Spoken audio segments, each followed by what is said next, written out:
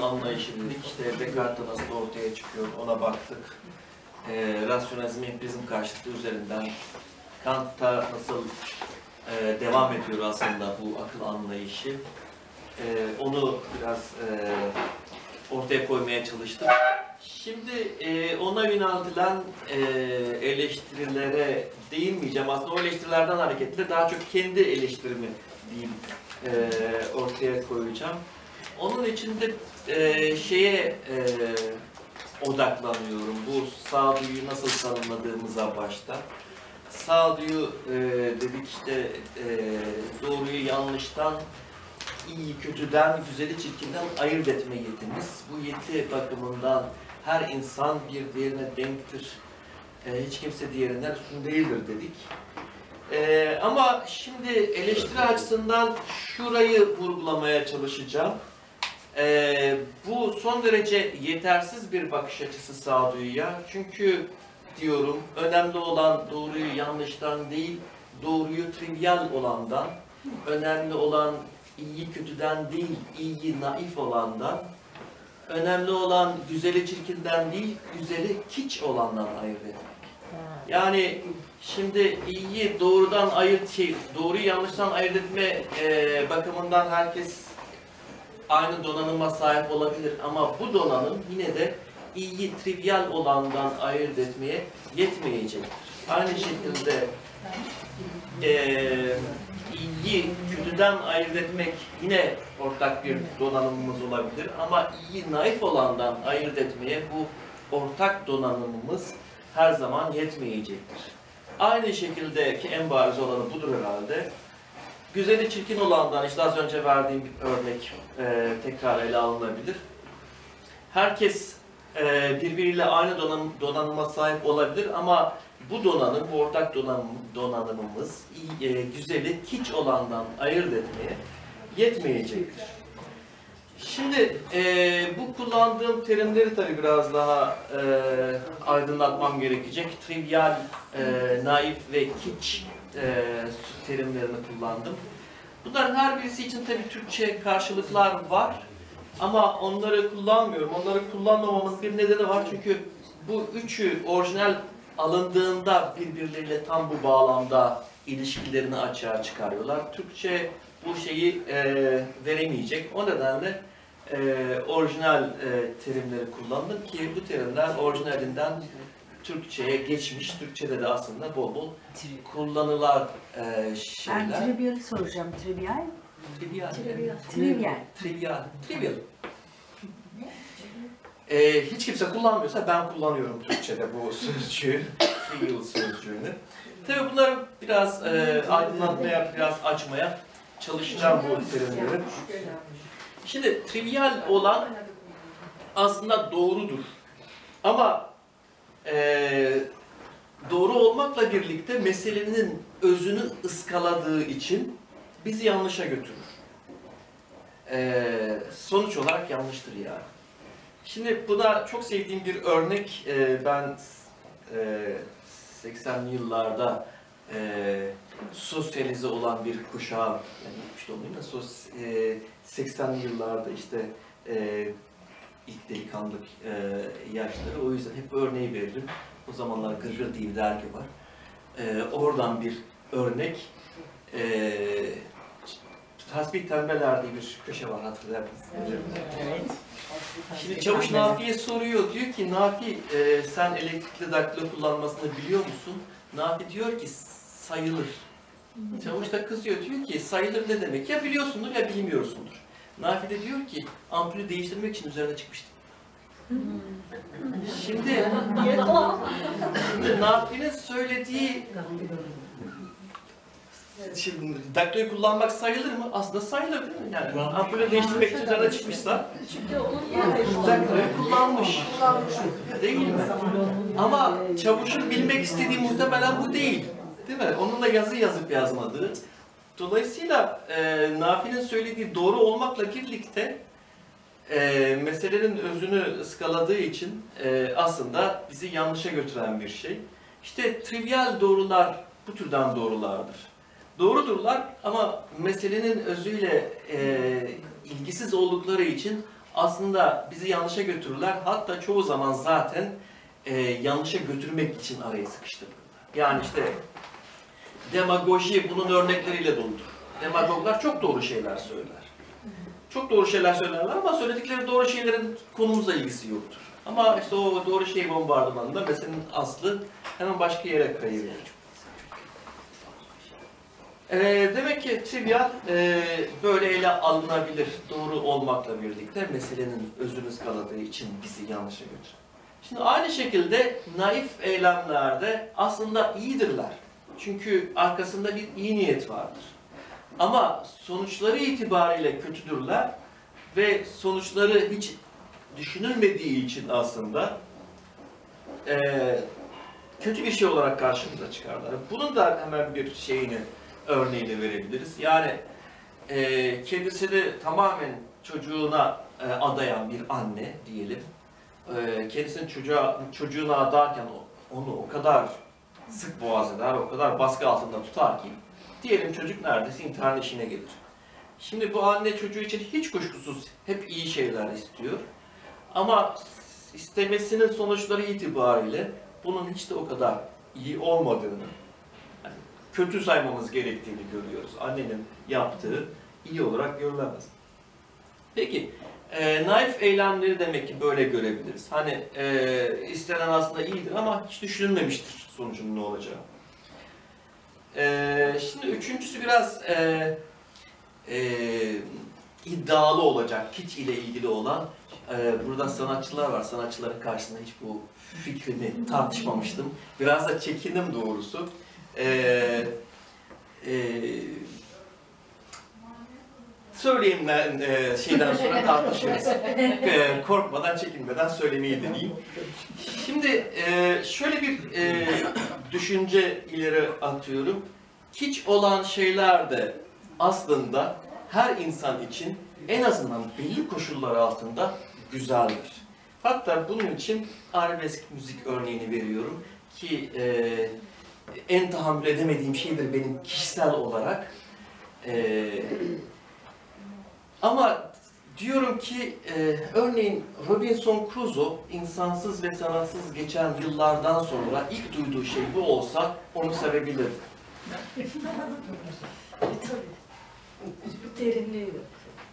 Diyorum ki e, güzel olma iddiası taşıyan her şey güzeldir bu koşullar altında. Yani eğer bir şey işte bu güzel olma iddiasıyla ortaya konuyorsa, yani biri onu güzel diye ortaya koyuyorsa o şey güzeldir. En azından işte bu koşul altında. Yani bir Robinson Crusoe yıllarca hiçbir insan görmedikten sonra bunu görse onu güzel bulurdu. Arkasından da şey demeyi ihmal etmiyorum ama. İşte arabesk müziği sevecek kadar insansız ve sanatsız kalmadığımız için dua etmeliyiz. Değil? Şimdi e, eğer bunu da bu şekilde kabul edebilirsek o zaman e, e, kiç içinde e, güzel olmakla birlikte işte e, son derece e, sığ alıp meseleyi e, asıl güzeli ıskalayan şey olarak e, alabiliriz. Yani üçünün ortak bir noktasını çıkarmış olduk demek ki. Bunlar gerçi e, doğru, iyi, güzel şeyler ama işimizi görmüyorlar. Yani Nafi'nin şeyi gibi, e, işte elektrik daktoyu kullanması gibi. Bunlar öyle ama işimizi görmüyorlar. Dolayısıyla e, bütün meseleyi işte ortak paydamız üzerine, yani doğruyu e, yanlıştan, iyi kötüden, güzel çirkinden ayırt etme yetimiz üzerine geri götürmek meseleyi bu nedenle çözmüyor. Çünkü sadece oradaki ortaklık tek başına yeterli değil. Çünkü asıl meselemiz burada. Asıl tartışmamız konular hep trivial olanı nasıl gerçekten doğru olandan, nasıl naif olanı gerçekten iyi olandan, nasıl kiç olanı gerçekten güzel olandan ayıracağız. Meselenin aslı bu. Burada işte ortak paydamız yani sağduyunun eşit dağıtılmış olması yeterli olmuyor. Şimdi e, Türkçe'de e, bir deyim var benim bu bağlamda e, hemen şurada e, yürürlüğe sokmak, tartışmak istediğim. E, akıllar pazara çıkmış herkes kendi aklını beğenmiş diye bir şey var, bir deyim var. Ee, aklın ne olduğunu şey yapıyoruz sorgularken. Şimdi bu e, Descartes'in akıl anlayışına tam zıt bir akıl anlayışı olarak karşımıza çıkıyor bu. E, çünkü Descartes'in akıl anlayışı, gerçi onun içinde bir deyimimiz var, bir atasözümüz. Atasözleri öyledir biraz, sadece Türkçe'de özgü değil. E, hani aynı şeyin tam tersini söyleyen atasözleri az değildir. İşte e, en de bir şeydir. Hani iyi adam üzerine, lafın üzerine gelir der. Bir atasözü, bir atasözü de işte iddianın çomu hazırla der örneğin. E, birbirinin tam tersini söylüyor, e, söylüyorlar. E, akıl konusunda da çok ilginçtir. Başka yani Descartes'in akıl anlayışını da yansıtan bir e, şeyimiz var, atasözümüz. O da aklın yolu birdir. Değil mi? Şimdi bir tarafta demek ki aklın yolu birdir diyoruz. Diğer taraftan işte akıllar pazara çıkmış. Herkes kendi aklını beğenmiş. Şimdi eğer bir olsaydı herkesin kendi aklını beğenmesi diye bir şey söz konusu olmazdı. Çünkü akıllar bir olacaktı. Oradan ilk bulduğunu kap. Her, hepsi bir. Demek ki o kadar da hepsi bir değilmiş. Yani bizim e, günlük dilimizde bile Descartes'in akıl kavramına alternatif, ona rakip bir akıl e, kavramımız varmış. Şimdi bu işte trivial, kiç vesaireyle ilgili meseleye buradan hareketle yaklaşmayı deneyeceğim. O yüzden bu deyimi e, e, ele alıyorum. Şimdi e, herkes kendi aklını beğenmiş derken aslında ne demek istiyoruz? İşte ortak akıl yok demek. Ama şu da demek. Yani ne kadar adam varsa o kadar akıl var. Çünkü herkes kendi aklını beğeniyor. Gruplar kendi akıllarını beğenmiyor. Herkes kendi aklı. Ee, bunu anlamayı denemek için e, şu örnek üzerinden e, gitmeyi öneriyorum. İnsanlar birbirlerine imrenirler, hatta birbirlerini kıskanırlar. Ee, hatta bazı insanlar bazı insanlara çok imrenirler. Diyelim mümkün olsa onun hayatını yaşamak. Ee, ama mümkün olsa onun hayatını yaşamak ister istemekle birlikte bu nüans önemli. Yine o adam olarak yaşamak değil, kendi olarak yaşamak. O adamın hayatını o adam olarak değil, kendi olarak. Çünkü o adam olarak yaşamak istersen zaten öyle bir adam var yani. O adamı duplike etmenin, çoğaltmanın bir anlamı yok. O adamın hayatını kendisi olarak yaşamak ister. Şimdi e, demek ki bir insanın hayatını yaşamak isteyecek kadar ona imrense bile birisi yine de onunla değiş tokuş etmek istemeyeceği bir şey olacak. Yani düşünün işte onun parası, şanı, şöhreti bilmem nesi her şeyini değiş tokuş e, etmek isteyebilir ama onunla değiş tokuş etmek isteme, e, değiş tokuş etmeyi istemeyeceği bir şey olacak. İşte e, siz bilinç dediniz.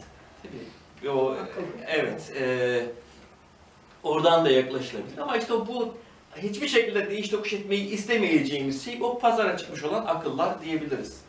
Pazara çıkan akıl o hiç değiş tokuş etmek istemeyeceğimiz şey.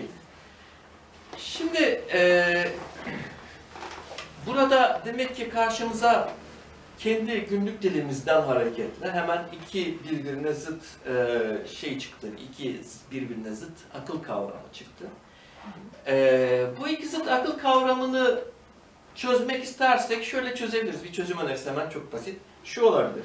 Şimdi ortak akıl hani aklın yolu birdir'deki akıl yerine İngilizce reason. E, oysa ki e, pazara çıkan akıllardaki akıl yerine de eğer mind koyarsak sorun halledilir, sorun çözülür. Ee, evet doğrudur bu şekilde sorunu çözmeyi deneyebiliriz. Ama tabii e, şunu da e, görmek lazım. Reason ile mind terimleri de birbirlerinin yerine geçebileceği pek çok e, bağlamlar karşımıza çıkar. Yani o terimler de birbirinden tam olarak ayrı terimler değil. Hani bizim ikisini de akılla karşılıyoruz. E, gerçi daha çok zihinle karşı, karşılanacaktır. E, ama efendim? Use your mind deriz yani. You- Aklını kullan. Use your mind. You are always in my mind deriz örneğin diye bir şarkı, şarkı şeyidir. Ee, o da yine şey demek. Evet. Ee, sürekli aklımdasın Türkçe yine akılla karşılaştırıyoruz. Yani bunlar e, birbirinden tam olarak e, ayrılacak şeyler değil. Birbiriyle bir kesiş, kesiştikleri yer var. Dolayısıyla sorunu yine bu terminoloji, terminoloji buraya buraya kaydırarak şey yapmıyoruz. Yani bu ak, e, o aklın yolu birdirdeki akılla akıllar pazara çıkmış vesaire olmuştaki akıl her ne kadar birbirinden çok farklı görünse de yine birbiriyle ilgili yani ilginç bir şekilde biri diğerini e, varsayıyor ya da bir kesiştikleri bir alan var. İşte reason'de e, malum kesiştikleri alan. Şimdi e, yine de şeyi deneyelim. İki akıl arasındaki farkı bir e, somutlaştırmayı deneyelim. E, az önceki o kurguyla o şeyle deneyebiliriz hemen bunu. Şimdi o aklın yolu bir derken dayandığımız akıl, sözünü ettiğimiz akıl işte. Doğruyu yanlıştan, iyi kötüden, güzel çirkinden ayırt etme yetimiz. Ee, o bir olan akılla bunu yapıyor olabiliriz ancak. Oysa işte e, akıllar pazara çıkmış ama e, herkes kendi aklını beğenmişteki akıl daha çok diğer türlü yeti olacak. Yani işte doğruyu trivial olandan, e, iyi naif olandan, güzeli çirkin e, şey kiç olandan ayırt etme yetimiz olacak. E, şimdi birinci tür ayrımlarda sorun yok ama ikincisinde var dedim. Yani işte doğruyu bariz bir doğruyu, bariz bir yanlıştan ayırt etme gerçekten sorun yok. Ya da bariz iyi olan bir şey, bariz e, kötü olan bir şeyi de ayırt etmede sorun yok. Neden sorun yok? Çünkü orada gerçekten Descartes'in varsaydığı gibi ortak bir donanıma sahibiz. Ortak donanım burada e, bulunduğu sürece orada bir problem yok. Problem hep ikinci türde karşımıza çıkıyor. Yani neyin trivial olduğu, neyin kiç olduğu meselesi. Yani örneğin sanatçılara bile sorsanız neyin gerçekten kiç olduğu konusunda anlaşamadıklarını görürsünüz. Ya da e, bilim adamları birbirlerinde işte trivial şeylere, e, tri- trivial yargılar üzerinden hakem kesmekle suçlar. Filozoflar bunu çok yapar özellikle.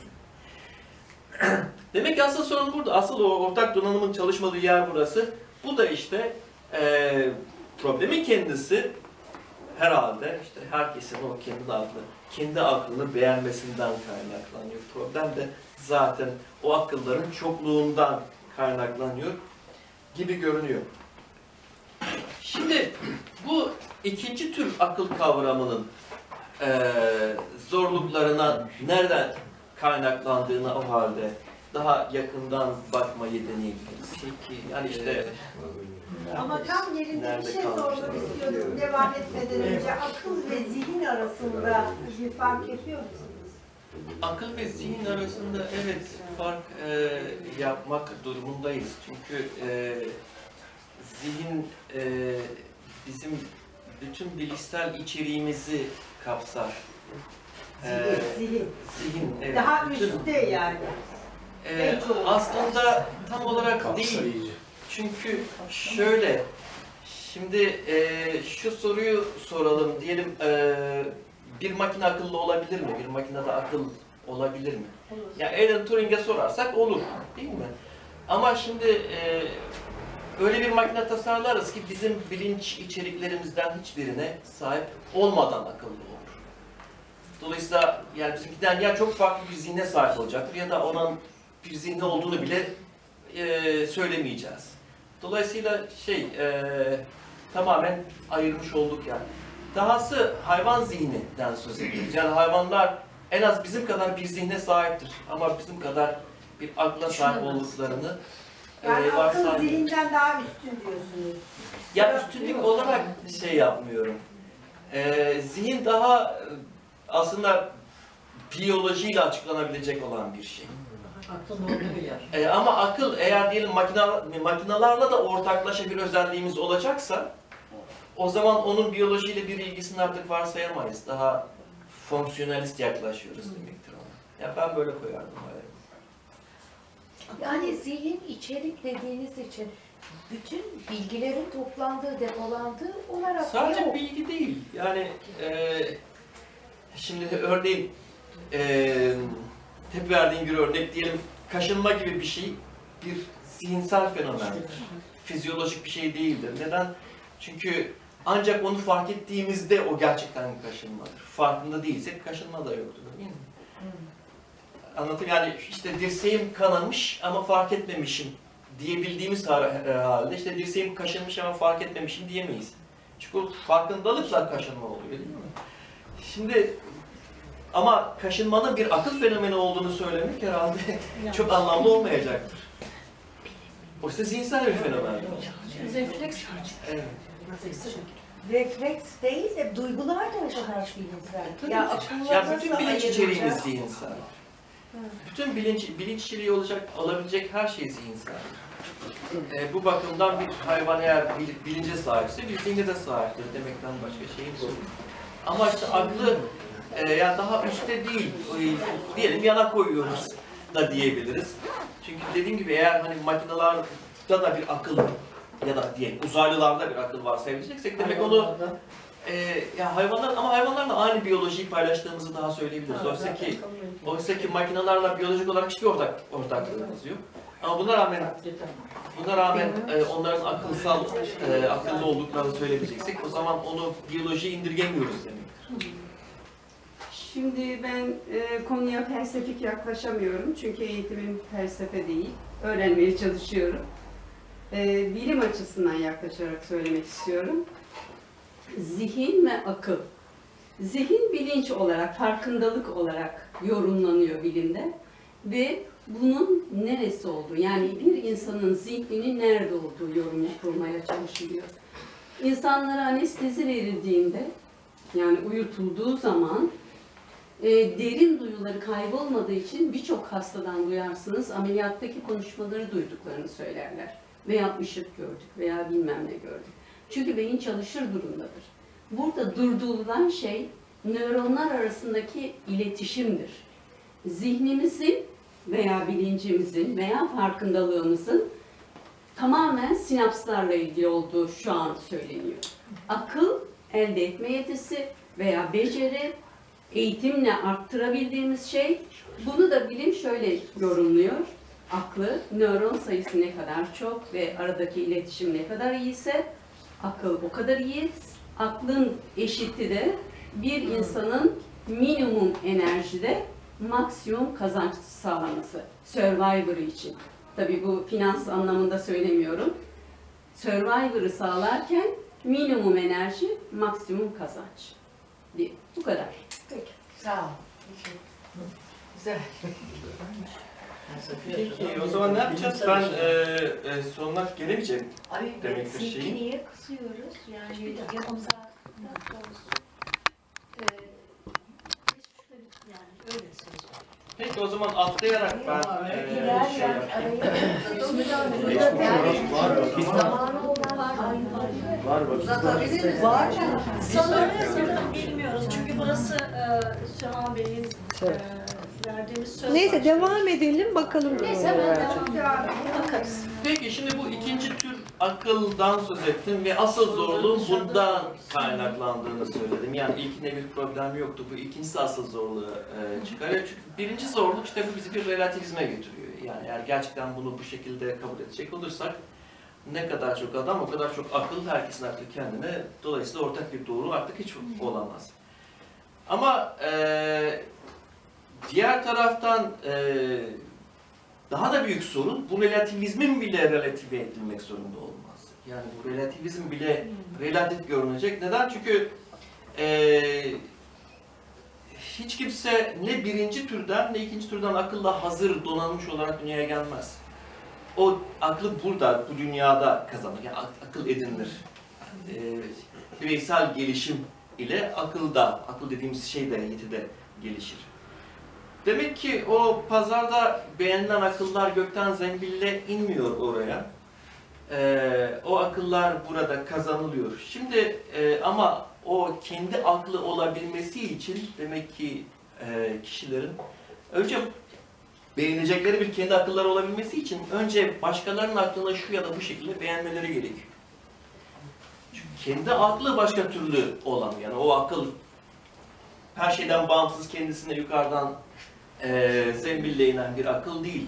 Onun ortaya çıkması için önce işte az önceki örnekte olduğu gibi birilerine öykünme, birilerine imrenme, birilerine rol örneği, e, rol modeli olarak alma vesaire olmak zorunda. Başkasının aklını beğenmek zorunda.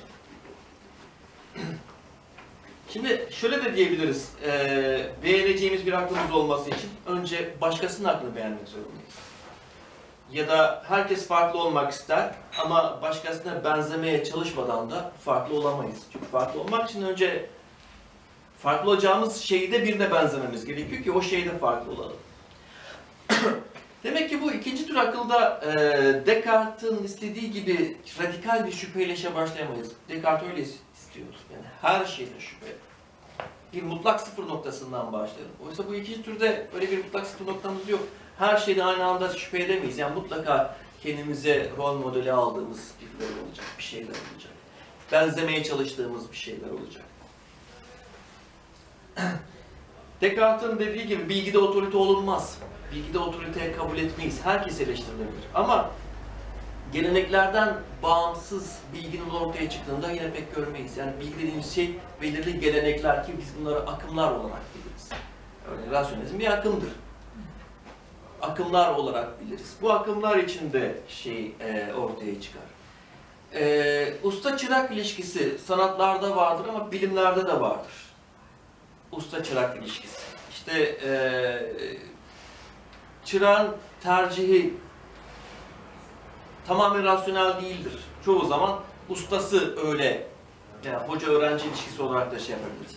Yani hocası diyelim iki teoriden birini favorize ediyor diye öğrencisi de onu kabul etmeye meyilli olacaktır. Bu rasyonel bir tercih değil. Ama e, bu tercihler demek ki bu türden aklın ortaya çık- çıkabilmesi için olmazsa olmaz şeyler. Yani bu tercihlerle e, kişi en başta farklılaşabileceği bir şey ortaya çıkarmış oluyor. Şimdi düşünce tarihine yön veren e, kimselere baktığımızda bunlar yaptığı iş işte bu gelenekleri aşmak, bu gelenekleri yıkmak hatta. Ama geleneği aşmak için de yine o geleneğin içinde yetişmiş olmak gerekiyor. O geleneği özümsemiş olmak gerekiyor. E, şimdi bu bize işte ikinci akılla ilgili bir tarihsellik boyutu ortaya koyuyor. Çünkü e, o birinci, ikinci akıl ile birinci aklı ayırt eden şey tam anlamıyla bu tarihsellik gibi karşım, bu tarihsellik olarak karşımıza çıkıyor. Şimdi doğru yanlıştan ayırma vesaire dedik. Bunlar tarih dışı. Çünkü doğruyu bütün zamanlar için doğrudur, yanlış bütün zamanlar için yanlıştır. Halbuki doğruyu trivialden ayırmak ancak bir tarih bilinciyle mümkün olabilir. Yani şey üzerinden çok daha kestirmeden yanıt verilebilir buna tabii ki kiç olan üzerine. Hemen e, soruyu çok uzatmadan şöyle bir örnek vereyim. İşte e, bu Rönesans ressamlarının yaptıkları eserleri e, gerçeğinden ayırt edemeyeceğimiz, edemeyeceğimiz kadar güzel kopya edenler oluyor. Böyle insanlar var. Ama eğer bunların yaptığı birebir kopyalamaktan öteye hiç geçemiyorsa onları yine de işte Leonardo kadar büyük bir ressam olarak görmek mümkün değil. Değil mi? Ee, ama eğer Leonardo'nun tuvale aktardığının aynısını tuvale aktarıyorsa o zaman Leonardo'da olup taklitçi de olmayan ne vardır? İşte olsa olsa tarih bilinci vardır. Yani Leonardo kendi çağının sanatının içinde neyin nasıl, niye yaptığını bulan adam. Oysa diğeri bunda hiç işi olmayan, sadece taklit eden adam. Ee, peki e, zaman geçirmemek için bunu da bu şekilde geçip e, bu ikinci akıl ve birinci akıl dediğim akılların karşılaştırılması için iki filozofu birbiriyle karşılaştırmayı deneyim son olarak. Bu iki filozof da Descartes ve Nietzsche. Şimdi bu bağlamda çok da mümkün bir talep değil. Çünkü hiç kimse biliyorum dediği şeylerin tamamını gerçekten kendi aklının süzgecinden geçiremez. Bunu yapabilmek için bunu gerçekten yapmak demek, örneğin fizikteki bütün deneyleri laboratuvar ortamında yapmadan bizzat, fizikçinin hiçbir söylediğine inanmamak demek olurdu. Ki hiç kimse böyle bir lüksü yok. Şimdi e, ama fark şu, pekala bu deneylerin laboratuvarlarda yapıldığını varsayabiliriz, yapıldığına inanabiliriz.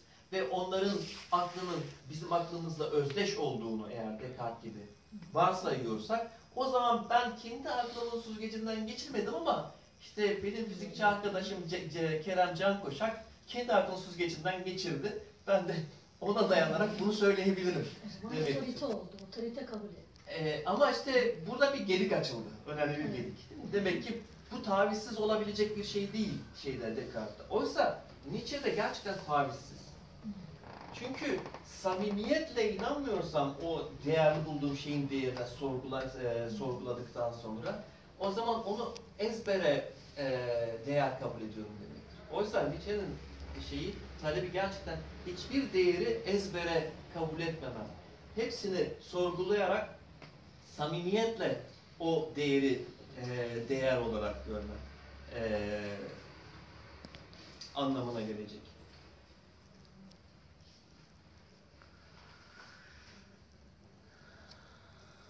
Demek ki e, değer söz konusu olduğunda herkes onunla ilgili soruyu kendisi, kendi olarak yanıtlamak zorunda. Hiç kimse bir başkasının yanıtına dayanarak o değere dayanamaz Nietzsche'nin talebiyle. Herkes kendisi olarak o şeyi soruyu e, yanıtlamak e, zorunda. Şimdi e, modern düşüncede e, bil, akıl daha çok bilme yetimiz olarak e, karşımıza çıkıyor dedik. E, oysa ondan önce akıl illa bilme yetisi olarak karşımıza çıkmıyor. İki örnek üzerinden vermeye çalıştım bunu. E, Buna dayanarak aslında bu ikinci türden aklın e, bilme yetisi olmaktan çok örneğin bir kendi olma yetisi ya da başkalarından farklılaşma yetisi e, olarak görülmesi mümkün olabilir. İnsanı hayvanlardan e, ayıran önemli farklardan biri akıllı dedik ama önemli bir fark da çevresindekilerden farklılaşma çabası. İnsan çevresindekilerden farklılaşmaya çalışır. Hani moda diye bir fenomen sırf bu yüzden vardır. Moda vardır çünkü hiçbir jenerasyon bir önceki jenerasyonun tıpkı basım olmak istemez. Her jenerasyon kendi farkını mutlaka ortaya çıkaracak. O yüzden gençler şimdi ilginç bir şekilde sakal uzatıyorlar diye. Benim zamanımda düşünebilir bir şey değil. Ama yarın bir sonraki jenerasyon içinde şimdiki jenerasyon oldukça komik görünecektir. Ee, şimdi jenerasyon bazına bakarsak bu farklılaşma çabasının bir sonucudur. Hiç kimse bir başkasının tıpkı basım olmak istemez. Ama en köklü farklılaşma gelenekten en köklü kopuş yine eee en çok vurgulamak istediğim şey geleneği en iyi okumuş olanların başaracağı bir iş. Yani o moda tabii ki yüzeysel. Yani dışsal görünüşü değiştirerek farklılaşma yüzeysel bir farklılaşmadır. Oysa ki en radikal farklılaşma, işte gelenekten en köklü kopuş, o geleneği en iyi okumuş olanların yapacağı bir iş. Ee, işte bu bunlardan biri olmayı onlara mümkün kılan nitiye ikinci akıl, ikinci anlamıyla akıl diyoruz diye bitirebilirim sanıyorum. Teşekkür ederim.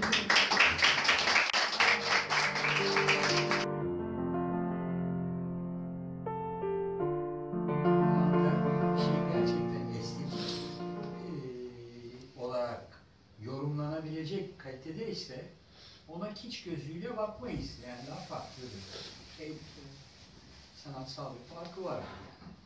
İşte burada da e, estetik sözcüğüne başka türden bir anlam veriyorsunuz. Bir değer ifade ediyorsunuz. Evet. E, oysa öyle olmak zorunda değil. Ben onu anlatmaya çalışmıştım. Yani e, hatta terim aslında köken itibariyle son derece nötraldir. Örneğin daha estetik e, terimi Kant'ta vardır ama bunu kullandığımız anlamda değildir. Duysal olan her şey estetiktir. Anestezi örneği verdiniz siz değil mi? Anestezi de estetik sözcüğü vardır. Anestezi. Orada duyunun ortadan kaldırılması.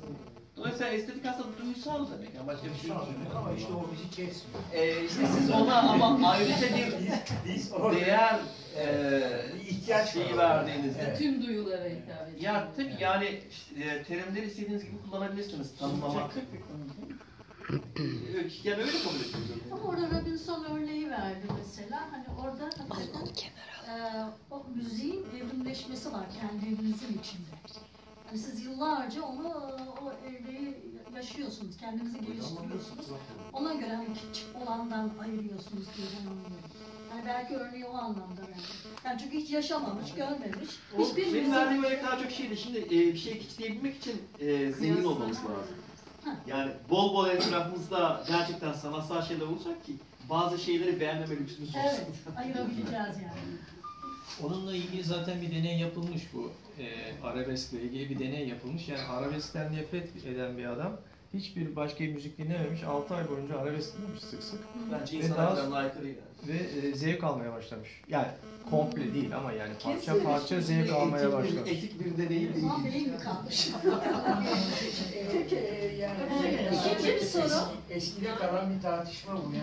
Zamanlar Yargılıyoruz. çok şey yapıldı. Ben bir şeye açıklık getirmenizi rica edecektim. Kafamda karıştı olay. Şimdi Descartes dedi ki bir metot bulalım, hakikati hiç tartışmadan kabul edelim hep beraber. Ama bir taraftan da şüpheyi de unutmayalım, her şeyden şüphe edelim. Eğer hakik doğada da öğrendiğimiz şeylerden biri değişimin olmadığı tek şey değişimin kendisidir denir. Her şey değişmeye mahkum. Yani biz şimdi bu saç sarıdır dediğimizde bile soru işareti var. Gözümüzde gördüğümüz halde. Tıpta çok fazla gördüğümüz için söylüyorum. Senelerce mide ülseri sütle tedavi ettik. Ondan sonra helikobakter dedik gene kendimiz. Yani bir şeye şüphe etmezseniz bilimde bir adım ilerleyemezsiniz. Hakikati bulduk, bir metot bulduk ve hakikati herkes kabul etti. E şüphe etmezseniz ne olacak? Hala mide ülserini sütle tedavi edecektik. Ama bir taraftan adam şüphe edin diyor, bir taraftan da kabul edin diyor. Ben o e, tenakuz, çok Türkçesini bulamadım, onu anlayamadım. Çelişki. Ya Ha, e. ama şey tam Yapsam olarak şüphe. bu e, her şeyden şüphe edeceğiz. en küçük bir şüphe kırıntısı varsa onu yanlış kabul edeceğiz. Ama işte o bir tane buluyor ya cogito ergo sum diyor. Bunu artık şüphe edemeyiz. Şimdi oradan hareketle her adım eğer şüphe edilmezse, kesinse o zaman bunun e, ya bu yoldan varacağımız şeyler her sonuç doğru kabul edilmelidir. Ama ben şimdi bu, e, buradan vermeyeyim de yanıtı e, şeyden yanıt vermeyi deneyeyim. E, gerçekten e, Descartes şeyin öncüsüdür, bilimsel yöntemin öncüsüdür. Evet. Yani bilimsel yöntemi öngörmüştür bu şeyde ve bilim, doğa bilimlerinde bu çok işe yaramıştır. Descartes'in eleştirilmesi bu yöntemin örneğin tim bilimlerinde yani işte insan bilimlerinde işe yaramaması. Ama doğa bilimlerinde çok işe yaramış. Hatta bir adım daha ileri gideyim. Descartes'in şöyle bir ideali var kafasında. Yani rahmetlinin zamanında bilgisayar yoktu gerçi ama aslında makinelerin zekası vesaireyle bayağı ilgili bir şeyler yazmış yani bugünkü yapay zeka dediğimiz şeyi öngörmüş adam. Ama şimdi biz işte eee şeyden klavyeden bir şeyler giriyoruz sonra enter tuşuna basıyoruz ya. Yöntem böyle bir yöntem olacak. O bir klavyeden girdiklerimizden sonra enter tuşuna bastığımızda orada bir şeyler oluyor değil mi? Orada olan şey o yöntem, Descartes'in ideal yöntemi. Yani o öyle bir çalışacak ki o enter'a bastığımızda karşısına çıkan sonuç artık kesin doğru olacak. Şimdi bu dediğim gibi şeyde e, doğa bilimlerinde çok işe yaradı ama e, bilgisayar bilimlerinde zaten tam olarak gerçekleşti de diyebiliriz. Çünkü e, bilimde tartışmalar sürse de örneğin işte e, ATM'de para çekmek istediğimiz zaman enter tuşuna bastığımızda orada çıkan bakiyeyi tartışmayız ATM'ye. Yani o öyledir. O yanlış yapmamıştır. O gerçekten doğrudur. Değil mi? O bilgisayarın bize verdiği sonucu sonuçta şey yapmayız. Ee, Şüphelenmeyiz. Değil mi? Şu, e, makine yanlış yapmıştır ya da işte başka şeyler girmiştir araya falan filan. Duygusal bağ kurmuyor muyuz makineyle? Hani ne olur makinede. Kesinlikle. Yani Descartes'in o ideali aslında bilgisayar bilimlerinde tam gerçekleşti bile diyebiliriz. Doğa bilimlerinde kısmen gerçekleşti ama tabii insan bilimlerinde gerçekleşmesi mümkün olmazdı ve işte eleştiriler de hep o taraftan geldi kendisi. Çünkü her çağda Son cümlemde o vardı. Öyle Yani geleneği en radikal şekilde yaşayanlar, çağı en iyi okuyanlardır. Ama Evet, geleneği en iyi yani bence en ortak e, yaşayabileceğimiz şey Yani o. Nietzsche'nin örneğin hep söylenir, babası bir protestan rahipti. Yani işte Tanrı öldü deyip en ünlü lafı odur. Hani Hristiyanlık eleştirisi getiriyor filan ama kendisi şey, babası rahip ve hatta işte 10 yaşındayken falan çok güzel İncil okumuş. Yani. Tesadüf değil yani, o, onun içinden gelmesi tesadüf.